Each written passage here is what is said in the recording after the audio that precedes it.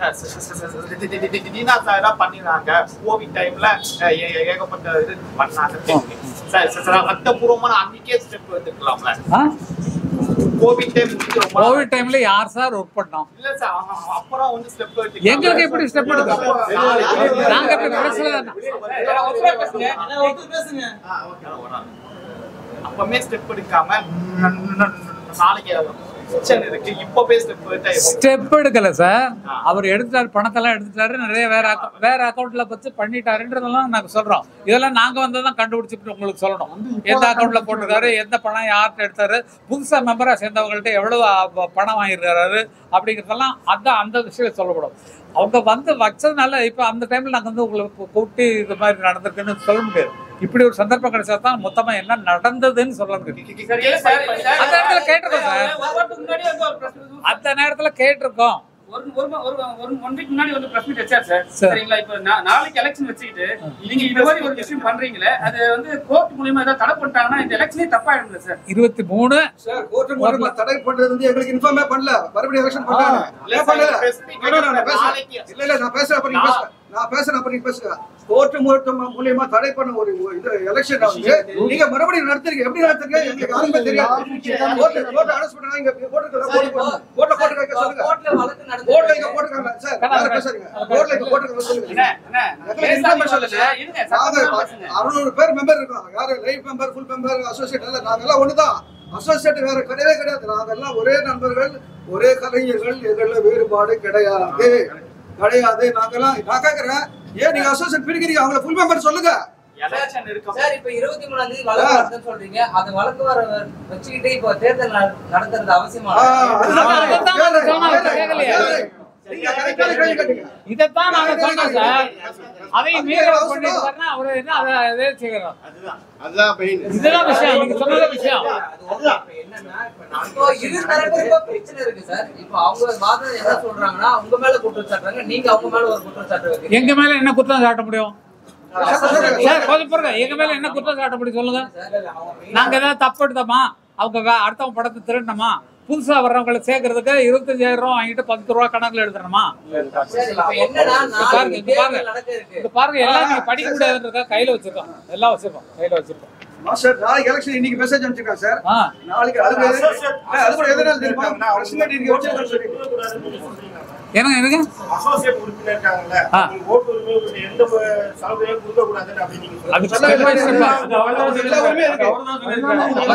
சொல்லிட்டு இருக்காங்க.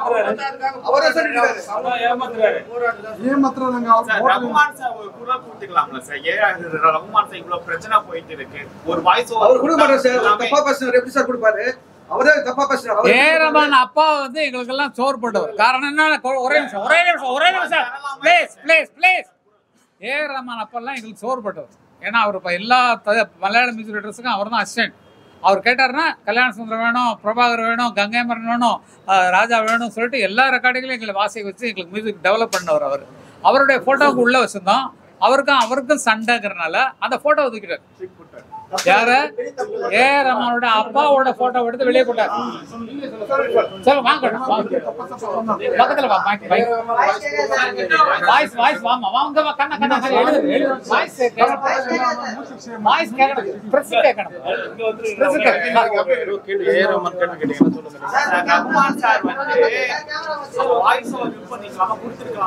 அதுதான் அவங்க சிஸ்டர் கொடுத்துருக்காங்க. கொடுத்துருக்காங்கல்ல கேட்கறேன் நான் அதுதான் சொல்றேன். ரெமோட் கொடுத்தாலும் சரி என்ன சொல்ல பாதிக்கப்பட்டவங்க பரவாயில்ல பரவாயில்ல. ரேமோட் கொடுத்தது பதிலா? அவங்க சிஸ்டர் கொடுத்துருக்காங்க. இன்னும் இருக்கு. சிஸ்டர் கொடுத்தது காமி.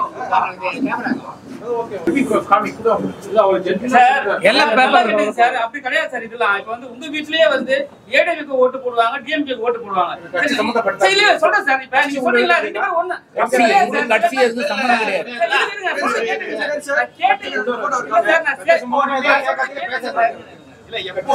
Sir, sir. Sir, sir. R K. Sekar. Sir சொல்றீங்க. அதே மாதிரி ரங்கராவை சொல்றீங்க. சரிங்களா? சில பேர் நிறைய பேருக்கு மாற்று கருத்து உண்டு உண்டு-. சரிங்களா? அவங்க கிட்ட வந்து நம்ம ஒரு விஷயத்த சொல்லிட்டு அவங்க போய் இன்னொரு விஷயத்துல போய் சேரலனா என்ன என்ன மாற்று கருத்து சொல்ல முடியும் சார் இல்ல சார் இப்போ வந்து நீங்க சொல்றீங்க உங்க சைடுல ஒரு நியாயத்தை நீங்க சொல்றீங்க. அதே மாதிரி அவர் சைடுல நியாயத்தை சொல்றாங்க அவர் சைடுல நியாயமே இல்லையே சார் பிரஸ் மீட் ரெண்டு ஒரு வாரத்துக்கு முன்னாடி வச்சுட்டு உங்க மேல செஞ்சு அலிகேஷன் வச்சாரு எங்களை பத்தி என்ன. சொல்றாங்க இது மாதிரி வந்து என்ன- செயல்படாம வந்திருக்காரு. செயல்படாம ராஜா சார் ராஜா சார் ஒரு- ராஜா சார் நான் நான் இந்த பில்டிங் எல்லாமே பண்றேன்னு சொன்னாரு. இவங்கள மெம்பர்ஸ் வந்து யாருமே சைன் போட மாட்டாங்க ஆமா இவனுக்கு பண்ண மாட்டோம் சார். ஏன்னா வந்து ரெண்டு வருஷம் நாலு வருஷம் தான் ஒருத்தர் பதவி காலம்.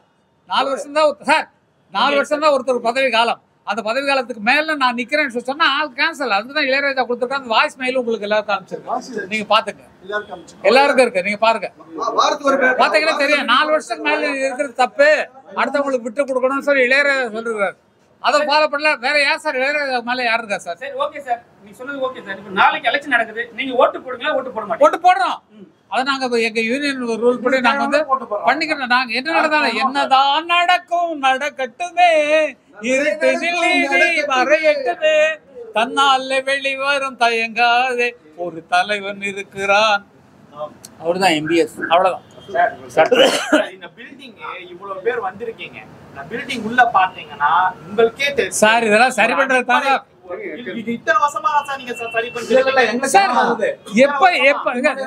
இதுக்கு போய் இளையராஜா நீ மனுஷனாயா? நீ கூட சம்பாதிச்சு கட்டி குடியான்னு சொல்லுவீங்களா? இப்ப அந்த பிரச்சனை வந்ததுக்கு அப்புறம் தான் மாத்தி கட்டணும்னு சொல்லி இளையராஜா வந்து பணம் கொடுத்து கட்டுறதுக்கு ஒத்துட்டு எல்லாம் சார் எல்லாரும் சேர்ந்து கட்டி கொடுக்கறது தான் சொல்லிருக்கோம் சார். அது தெரியாம சார். ரஹ்மான்ல இருந்து ஆர்எஸ் இருந்து எல்லாரும் சேர்ந்து தான் அந்த கட்டடத்தை கட்டுறதா இருந்தது. இப்போ அது முறிக்கப்பட்டது.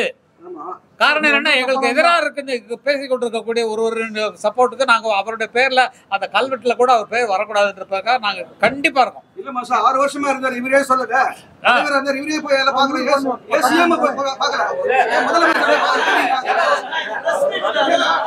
நீங்க பேசுறது வராது தெளிவா நீங்க பேசுறது வராது கேட்கல எல்லாரும் கேக்குறீங்க நான் பதில் சொல்றேன் கே- கேளுங்கம்மா, கேளுங்க கேளுங்க கேளுங்க. சார் கொஞ்சம் கா- கொஞ்சம் கொஞ்சம் பொறுப்பா. கொஞ்சம் பொறுப்பா. யூனியன் இத்தனை வருஷம் இருக்குது. ஆனா அதுல இருக்க அசோசியேட் மெம்பர்ஸுக்கு வந்து நிறைய பேருக்கு அடிப்பு உரிமையில இருந்து இன்சூரன்ஸ் நிறைய விஷயங்கள் இல்ல. நாங்க வந்தா அதை செஞ்சு தருவோம் அப்படின்னு சொல்லி ஜீனா அவர் சொல்லியிருந்தார். இத்தனை வருஷம் இருக்கிறவங்களுக்கு ஒரு அடிப்படை உரிமை கூட ஏன் இல்ல? அதை ஏன் நீங்க யாரும் இவ்வளவு நாளா கேட்காம இருக்கீங்க? எல்லாம் ஸ்டெப் பை ஸ்டெப்பா தான் சார் வரும். லைஃப் மெம்பர் இருக்கும் இருந்திருக்கீங்க? ஒரு அடிப்படை உரிமை இல்ல ஸ்டெப் பை ஸ்டெப்பா தான் வரும். எங்களுக்குள்ள என்ன ரூல் சார் எங்களுக்கு என்ன ரூல் வச்சிருக்கோம்னா ஒரு ஒரு மியூசிஷியன் இப்போ வந்து சாதாரணமா வந்தவர் தான் இவர். இன்னைக்கு வந்து கிங்கா நிக்கிறாரு இந்தியாவில் பெஸ்டா ஷனாய் பிளேயர்ல நம்பர் ஒன் அந்த மாதிரி பத்மஸ்ரீ. அப்படிப்பட்டவர் இப்படி வளரும் போது தான் எங்களுக்கு தெரியும். வளர்ந்தோம்னா ஆஹா அவருக்கு இந்த இந்த இடத்துல உட்கார வைக்கணும் போஸ்ட் அப்படிங்கிறது எங்களுக்கு அந்த இடத்துல தான் வரும். அதே மாதிரி ஒவ்வொரு பிளேயரும் வாசிக்கிறாங்கன்னா பத்து ரெக்கார்டிங் வாச்சானா இருபது ரெக்கார்டிங் வாச்சானாங்கிற ஸ்டெப் ஸ்டெப் பார்த்து தான் நாங்கள் அவரை மேலே கொண்டு வருது. நல்ல மியூசிஷியன் ஆகுறதுக்கு நல்ல மியூசிஷியன் ஆகுறதுக்கு டைம் வேணும். பல இடங்கள்ல வாசிக்கணும் பல இடங்கள்ல அனுபவப்படணும். அப்படிப்பட்டவரை நாங்கள் மேலே கொண்டு வரோம். எல்லாரையும் ஒரே இடத்துல சேர்ந்தவங்க எல்லாத்தையுமே நாங்கள் உடனே செய்ய சார் முடியும் இப்போ இந்த இது இது சட்டப்படி நடக்கலைங்கிறது உங்களுக்கு தெரியும்.